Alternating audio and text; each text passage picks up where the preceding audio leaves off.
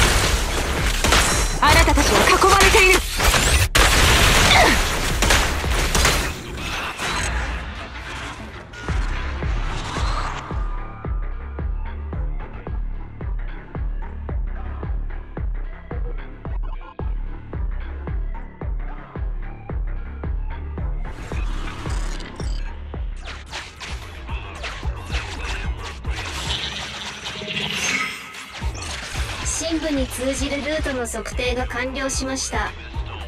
しょ障害物が多すぎない？目的地まで道が塞がれてるとこもある。マスター処分可能な目標ポイントを優先してください。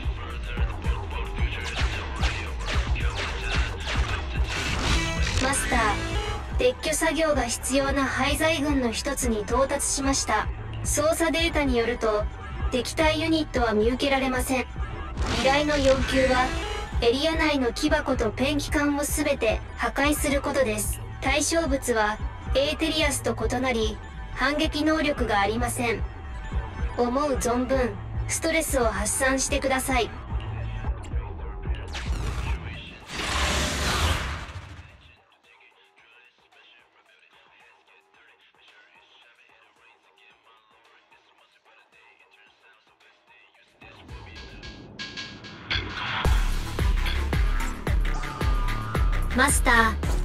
事現場の廃棄物処理を開始してください。こんなにたくさんあるなんて。まあいい。募集のためだ。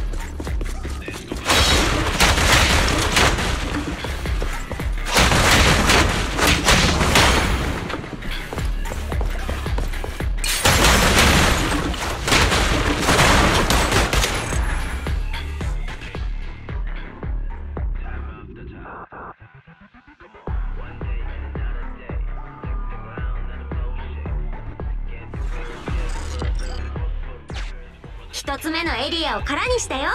やったね。警告。異常に活発な目標を検知。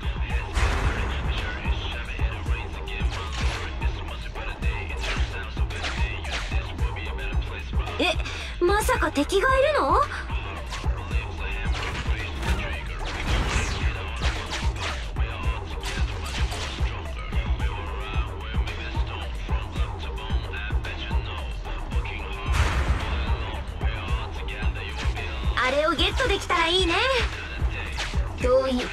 該当ターゲットマスターもう一つの撤去作業が必要な廃材群に到達しました。手順は前回と同じです。操作の結果現在も稼働中の小型警備システムを数台検知しました。撤去作業の際はご注意ください。マスターがお楽しみの間私は HDD の演算パワーを拝借し障害物を迂回できるプランを広範囲で検索します。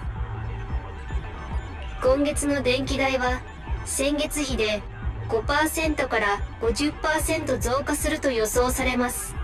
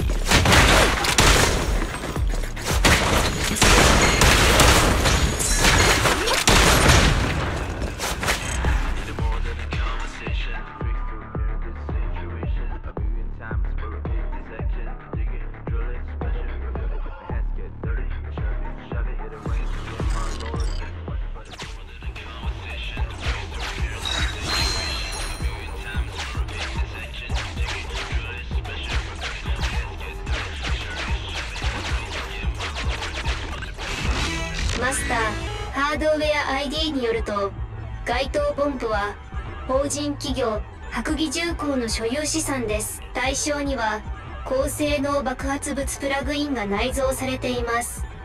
これよりこちらをあなた様に移植いたします。プラグインの抽出作業開始。進捗率20%プラグイン抽出中。進捗率40%警告。対象論理コア。再起動を検出。抽出作業を緊急停止します。あっちゃー。また動き出しちゃった。マスター対象ポンプの異常な起動によりプラグインの移植は失敗しました。移植作業を再開するためには先に対象ポンプを制圧してください。対象ポンプの爆発物投擲機能は健在ですが投擲から起爆の間には数秒の猶予があるよ。提案。起爆する前に爆弾を対象付近に押し戻し爆発に巻き込んで制圧してしまいましょう。私はイアスの修理費用を計算しながらあなた様の勇気に喝采をお送りします。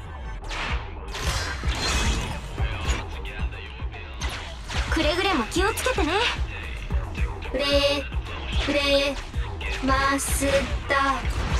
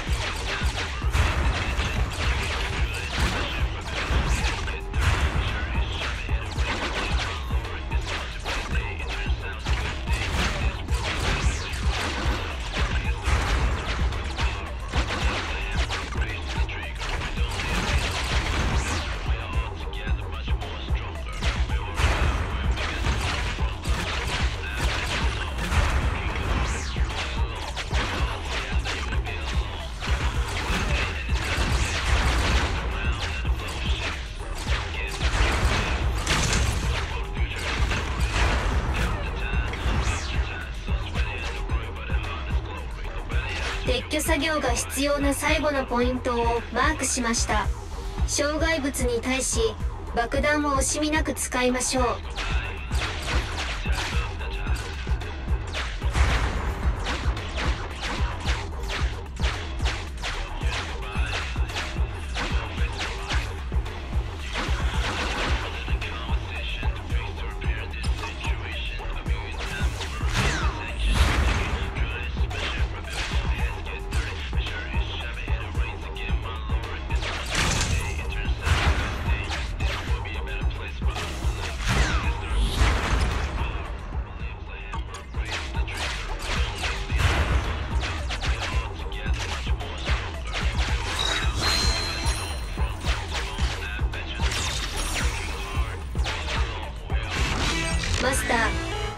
作業が必要な最後のポイントに到達しましこれまでの2回と同様に処分してください。警告。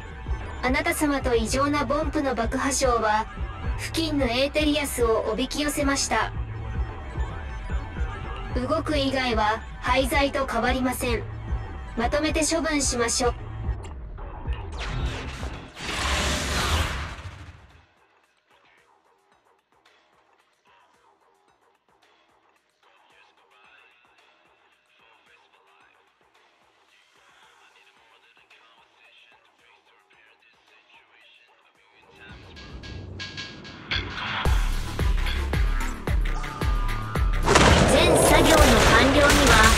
あと15時間かかる見込みです。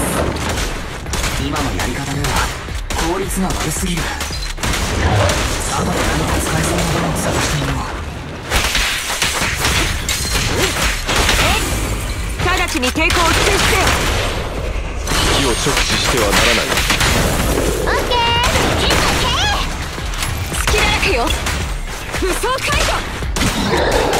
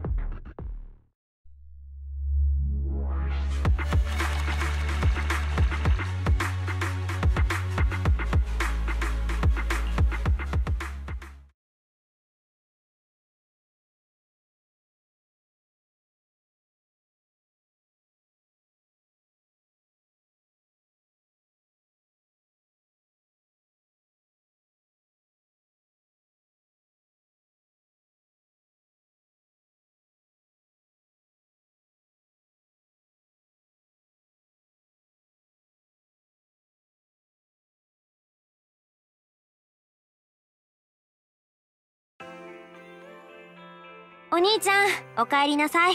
それとお疲れ様。今空いてる？お兄ちゃんにちょっと用があるの。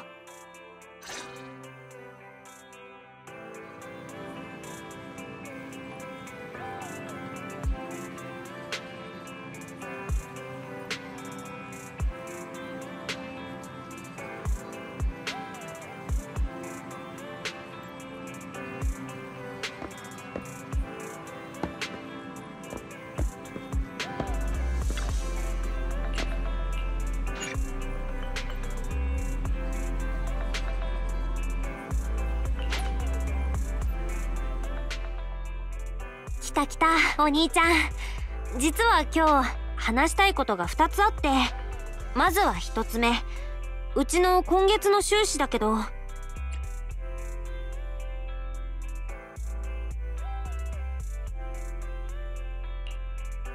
ち違うんだリン。確かにゲームにお金をつぎ込んだけど。あれは。ゲームって？何のこと？こっちは真面目な話をしてるんだからまずは聞いてよ。じゃあ続けるね。ビデオ屋の経営だけど特に変わったことはないかな。今月の収入も普段とほぼ同じ。大きく変わったのは私たちのプロ棋士事業の方なの。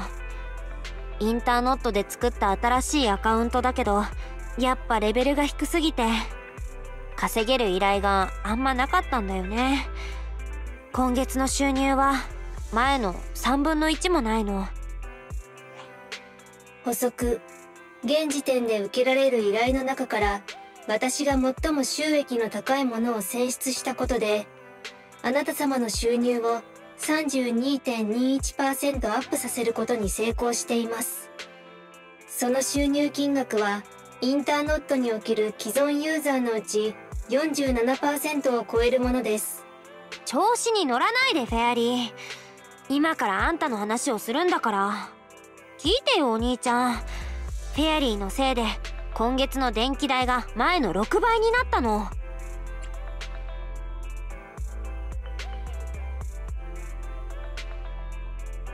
6倍？リンどういうことだ？フェアリーが HDD を制御できるのをいいことにほぼ24時間つけっぱにしてるからでしょ？一日中フルで使ってるんだから電気代が上がるのも当たり前だよ。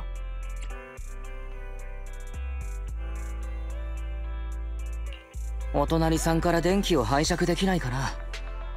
例えば電気コードを接続して。いつものお兄ちゃんならそんな冗談言わないのに。きっとジャト屋の悪知恵が移っちゃったんだね。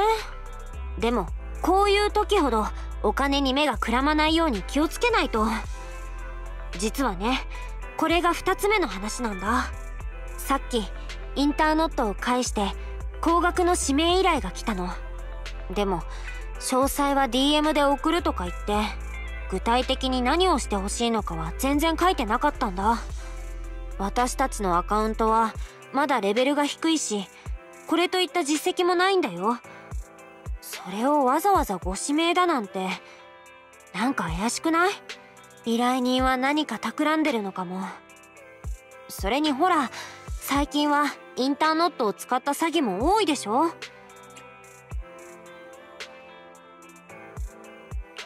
いっそのこと誰なのか分かればいいけど無理だろうな。なんといってもインターノットは匿名フォーラムで中でもユーザーの個人情報はトップシークレットだ。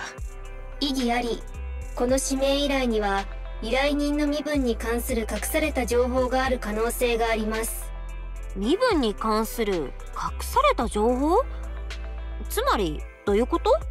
依頼元のインターノットアカウントは投稿の前日に新規作成されたものです。アイコンには明確な被写体のない低解像度の画像が使われています。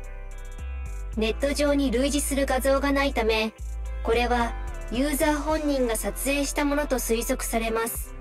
全都市のストリートビュー及び地面の原材料データと照合した結果この写真に写っている場所はヤヌスクの境界に位置する現旧都地下鉄改修プロジェクトの工事現場と一致しました。本当？えっ、と確か私たちがビジョンの悪事を暴いた後地下鉄改修プロジェクトの競争入札がやり直されたんだっけ？今回の請負を勝ち取ったのは確か白木重工だったよね。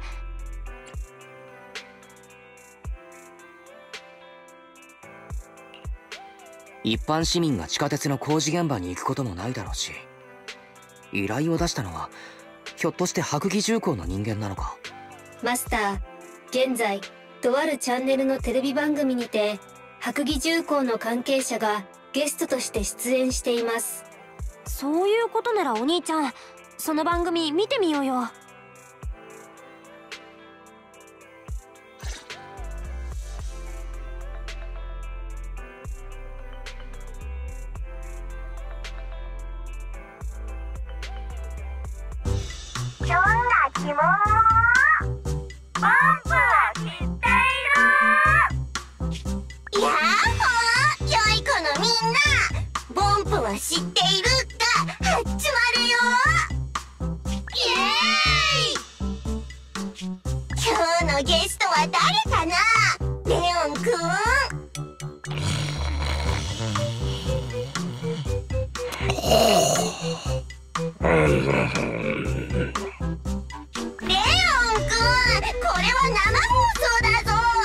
昼からグースか寝てないで今日のゲストを呼ぼうよ。ああ別に呼ばなくていいぞ。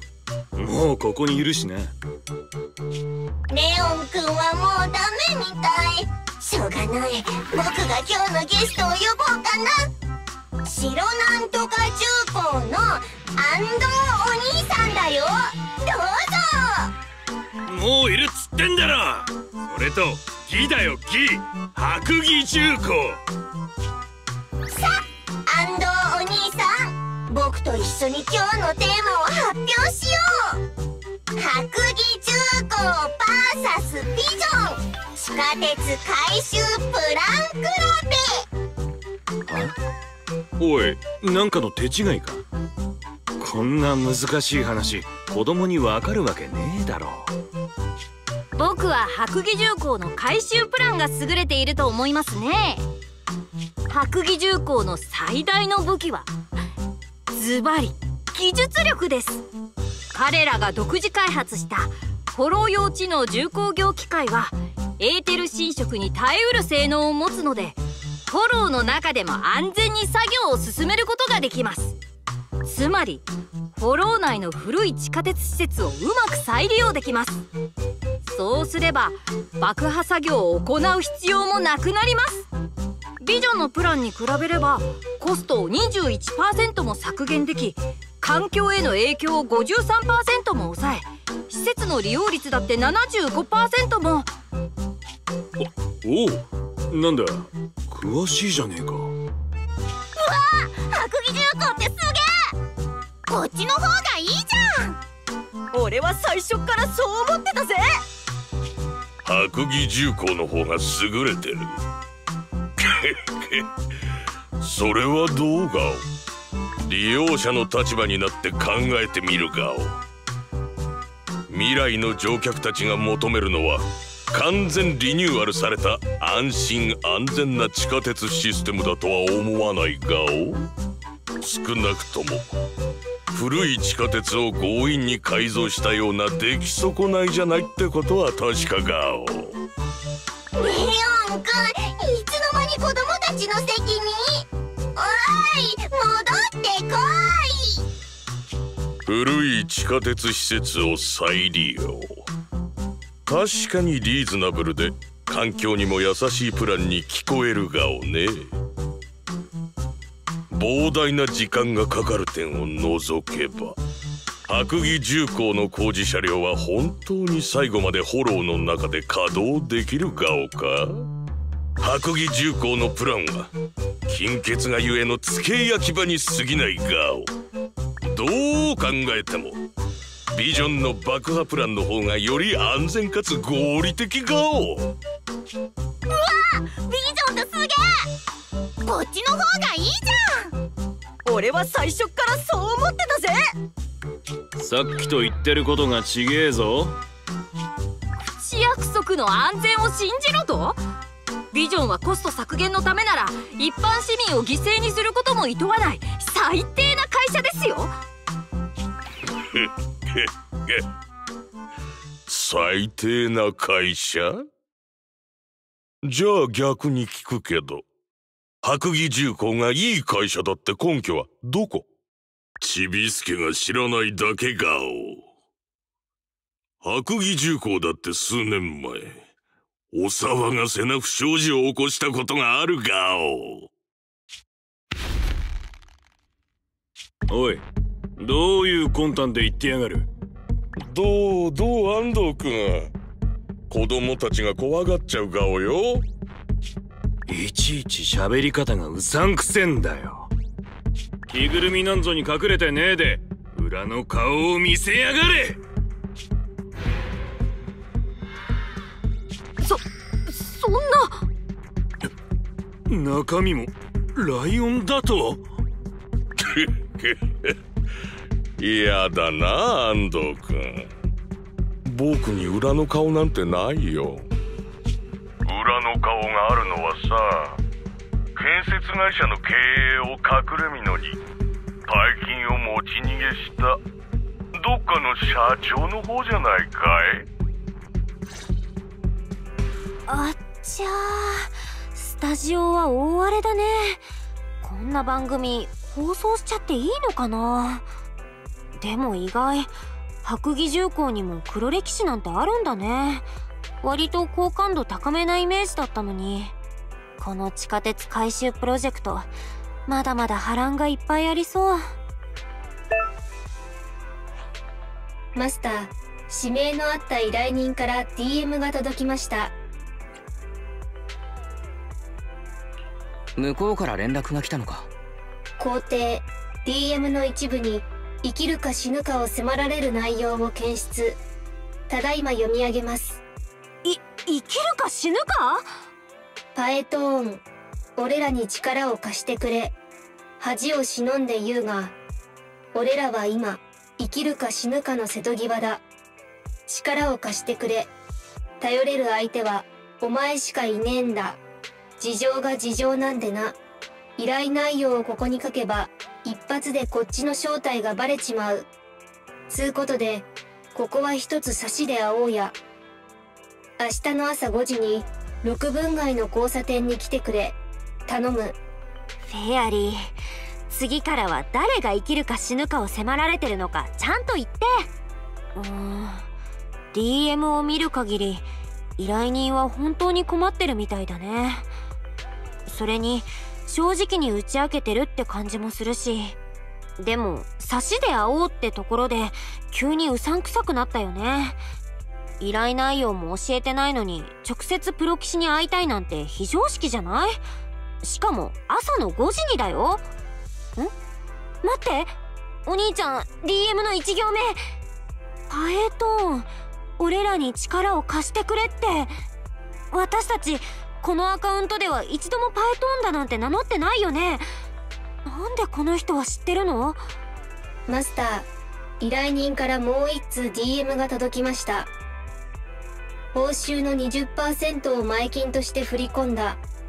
こいつは心ばかりの誠意ってやつだ。マジに頼んだからな。インターノットのアカウントに振り込みを確認。お兄ちゃん会いたいっていうのは私たちをおびき寄せるための罠かも。前金を払ってくれたとしてもこの依頼は受けちゃダメだよ。ねお兄ちゃんフェアリーに遠回しに断ってもらおう。かしこまりましたマスター。振り込まれた金額は先月のインターノットにおける総収入の1.1倍に相当します。本当に返金しますか？いいくら？先月のインターノットにおける総収入の1.1倍です。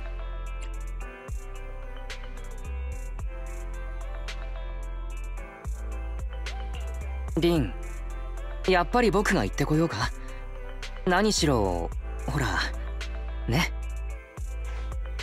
うんうん。あえっと意外と安全だったりしてとか？ああそうだお兄ちゃん。ランニングするふりでもしてさ明日の朝こっそり様子を見てきたらいいんじゃないかな。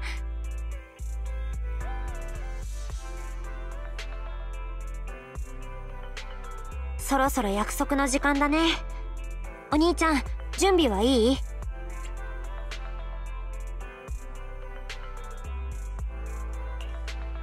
少し緊張するけど臨機応変に対応してみるよ。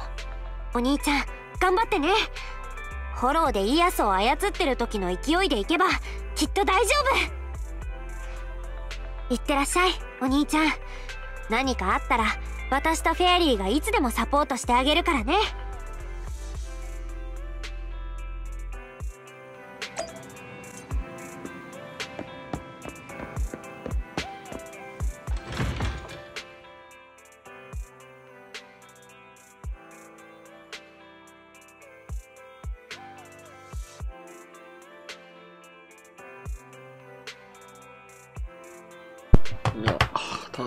ると思うけど、長いね。9時間か、5時間半かかんのこれ。幕間の方は長い。あ、僕ちょっとあの、レベル上げしてたから、インターネットモードとかが22とかなんか条件があるんだ。だから、あるんだわ、絶対多分。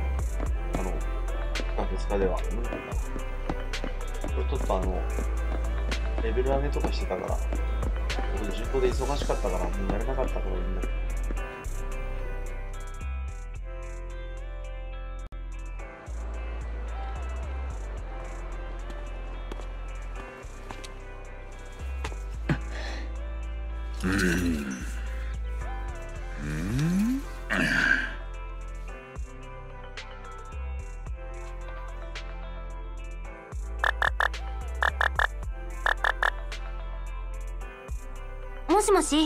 兄ちゃん。着いた？そっちはどう？街角で怪しい人が独り言を言ってる。あのがたいのいい男の人のこと？なんだかブツブツ言ってない？畜生。兄弟。俺は本当にお前抜きでやれるんだろうか？いやいや男の辞書には勇往邁進の4文字しかねえんだ。辞書にしちゃえらく内容が乏しい気もするが。だあぐだぐだ考えたって始まんねえ。こんなもん正々堂々ぶつかってなんぼだろうが。兄弟お前がここにいたらきっとそう言ったはずだ。うわ本当に怪しい。怪しい人独り言で検索中マスター。これらのキーワードはコーナー H 棚3番号16-5にあるビデオテープの内容と酷似しています。コーナー H? 旧文明のホラー映画がある棚だよね。私は興味ないしお兄ちゃんはビビリだから見てなかったけど。映画のタイトルはサイコホラー明け方の怪異多重人格の凶悪犯が助けを請うふりをして数多くの被害者を罠にかける物語です。被害者を追い詰めた凶悪犯は毎回底抜けに明るい声とは裏腹におぞましさをはらんだお決まりのセリフを口にします。よう見つけたぜ。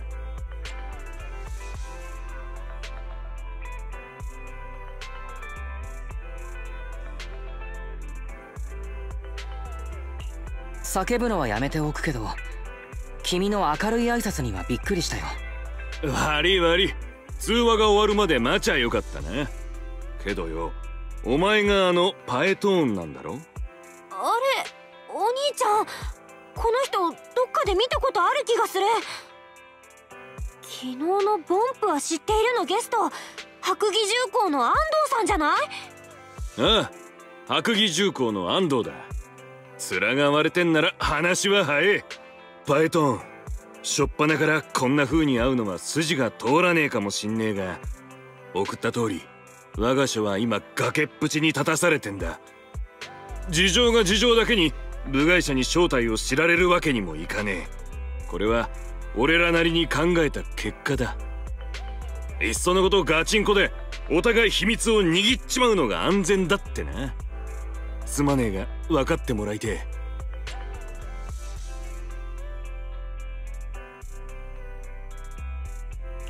なるほど。それも一理ある。だけど依頼の話をする前にこちらの質問に答えてくれ。あのアカウントが僕たちのものだってどこで知ったんだい？はっ！そいつは言えねえな。ただ情報提供者は胸を叩いて保証したぜあれが間違いなく名だたるパエトーンのアカウントだってな。